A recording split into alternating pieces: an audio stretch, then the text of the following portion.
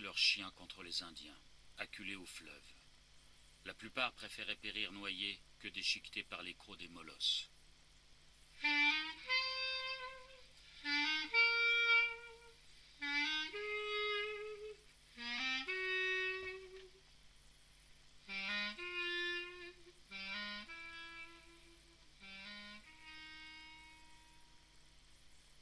La revue Rue Saint-Ambroise et l'association Rue du Conservatoire vous proposent La Llorona, celle qui pleure, de Françoise Heitz.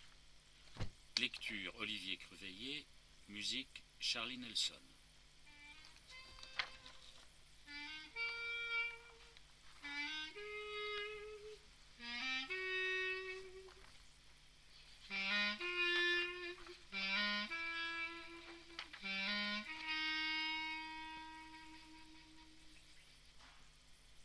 Ne savait pas qu'on peut se noyer dans un océan de larmes.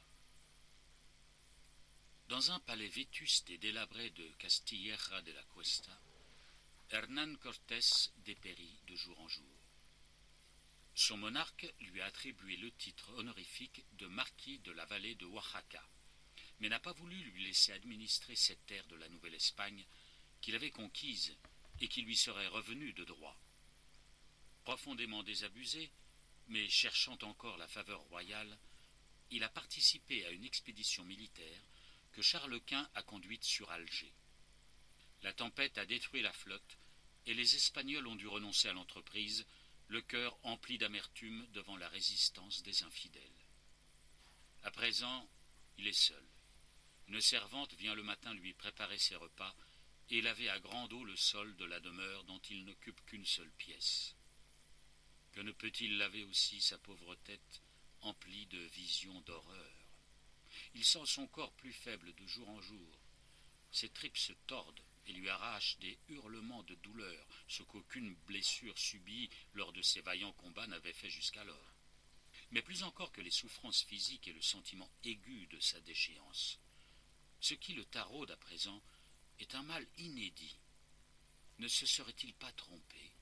A-t-il eu raison de combattre aussi impitoyablement les indigènes De massacrer tous les habitants de Cholula D'utiliser l'inimitié entre les Tlaxcaltèques et les Aztèques, les premiers ulcérés par les écrasants impôts qu'ils devaient verser aux seconds De s'en faire des alliés contre le tout-puissant empereur Moctezuma de se servir ensuite de la crédulité de ce même empereur, qui le prenait pour une réincarnation du dieu Quetzalcoatl, dont le peuple attendait le retour par la mer inconnue et terrifiante, et qui accueillait en sauveur ces hommes blancs et barbus capables de voguer sur l'eau. Dès les premières rébellions, les Espagnols avaient lancé leurs chiens contre les Indiens, acculés au fleuve. La plupart préféraient périr noyés que déchiquetés par les crocs des molosses. Tout cela était de bonne politique pourtant, et l'objectif du soldat était clair servir son Dieu et son roi, conquérir des âmes pour le premier, de l'or pour le second, en espérant gagner sa juste rétribution pour les services rendus.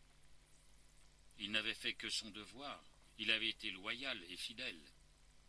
D'ailleurs, la princesse Doña Marina, surnommée la Malinche, l'avait secondé dans la première partie de son entreprise en servant d'interprète entre les Espagnols et les Indiens. Mais justement, c'est une figure féminine qui vient hanter ses nuits à présent. À peine parvient-il à sombrer dans un sommeil brumeux qu'il entend les hurlements d'une femme qui réclame en pleurant ses enfants. Serait-ce la voix de la Malinche, qui regrette amèrement d'avoir pactisé avec l'ennemi après avoir assisté aux tueries et aux destructions qui s'ensuivirent? Pleure-t-elle tous les morts de cette terre? Les Indiens tombaient comme des mouches sous les coups des arquebuses, ou décimés par les travaux forcés et les épidémies de variole. Les indigènes rendent un culte à une déesse mère. Ont-ils reconnu Marina comme une figure de la déesse trompée et vaincue, mais qu'anime un désir de vengeance? Grâce aux vieux soldats, franciscains et dominicains sont venus pour évangéliser ces terres païennes et éradiquer superstitions et cultes aux idoles, baptisés dans l'eau au nom du Père, du Fils et du Saint-Esprit. Mais rien n'y a fait. Les Indiens abjuraient par peur de la mort, mais persistaient dans leurs pratiques impies. Pourtant, Il avait trouvé plus d'apaisement auprès de cette femme étrangère qui lui avait donné un fils qu'auprès de toutes les autres, les señoritas hautaines, auxquelles il ne savait pas s'adresser et qui considéraient avec mépris sa rudesse de guerrier, ou les femmes vénales qui ne servaient qu'à assouvir ses besoins. Il lui semblait que le monde s'écroulait. Tous lui avaient tourné le dos. La cour, les Espagnols restés ici, en vieille Castille, qui ne comprenaient rien aux exploits des conquérants, ceux qui étaient restés là-bas et avaient hérité d'encomiendas qui lui revenaient, à lui, le premier d'entre eux. Le vieil homme cherche l'oubli à tous ces mots, mais la voix à nouveau se fait entendre, déchirante. Mes enfants. Sa voix est comme une rivière souterraine qui enfle, Le conquistador se lève à tâtons pour économiser la bougie. Ses pieds sentent la froideur du sol comme celle d'un tombeau. Il cherche cette femme, se dit qu'elle a dû s'introduire dans sa demeure et vient le persécuter de ses cris. Il se guide à la voix, traverse un couloir et parvient dans une salle haute au fond de laquelle il distingue une scène étrange qui le projette dans un autre temps et un autre espace, dans un siècle à venir. Derrière une sorte de glace, il voit un tribunal. Il connaît vaguement l'aspect de ces femmes indigènes dont la tête est couverte d'un voile noir brodé de fleurs chamarrées. Mais l'aspect des autres lui est inconnu. Les femmes blanches portent de drôles de tenues qui collent à leur corps de façon impudique et mettent à découvert leurs bras et une partie de leurs jambes. Quant aux hommes, ils portent de curieux autres choses qui leur enserrent la totalité de la jambe. L'un d'eux est très digne, un air fier et dur sous sa moustache, et écoute le témoignage des femmes qui semblent l'accuser de multiples méfaits. Avoir conduit ses troupes à saccager les villages, violer les femmes, noyer les enfants. Les accusatrices parlent dans leur langue et un interprète traduit dans un espagnol qu'il peine à suivre.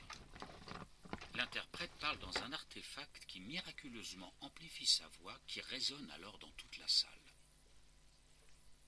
Pourquoi écouter ces femmes et accuser ce vieux militaire? Cortés comprend qu'il est de la même trempe que lui, car on l'appelle général, bien qu'il ne porte aucune cuirasse ni décoration, ni bannière de son roi. Les juges et l'assistance se lèvent pour le verdict. Le vieil homme est reconnu coupable d'un crime dont le sens échappe au vassal de Charles Quint. Génocide. L'accusé se recroqueville sur sa chaise. Il manque d'air, fait un malaise. La salle retombe dans le noir. Dans son lit, le général guatémaltèque Ephraim Rios Montt ne peut trouver le sommeil. Les pleurs et les cris d'une femme le poursuivent. Hélas, mes enfants, d'où vient cette voix Au travers du voilage des rideaux qui tremblent comme son cœur usé, il entrevoit la silhouette d'un vieil espagnol dont l'armure ruisselle de sang et d'eau et qui le regarde halluciné. La seule domestique encore présente dans la maison, l'énigmatique et silencieuse Marina, aux longs cheveux noirs dans son repeal d'un blanc immaculé, le fixe et s'approche du lit.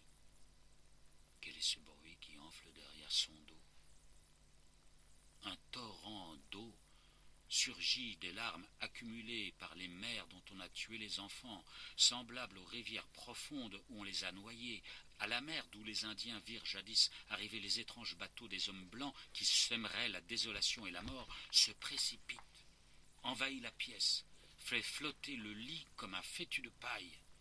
Par-dessus l'eau qui envahit tout, l'air de ses poumons et la lueur de sa conscience, il entend, plus fort, jusqu'à l'éclatement de ses tympans, les pleurs de la femme. Et le vieux général génocidaire comprend que seuls les coupables l'entendent pleurer pour l'éternité.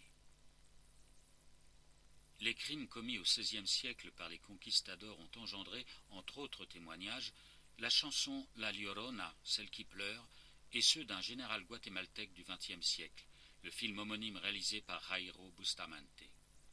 À travers les siècles, les douleurs se répondent.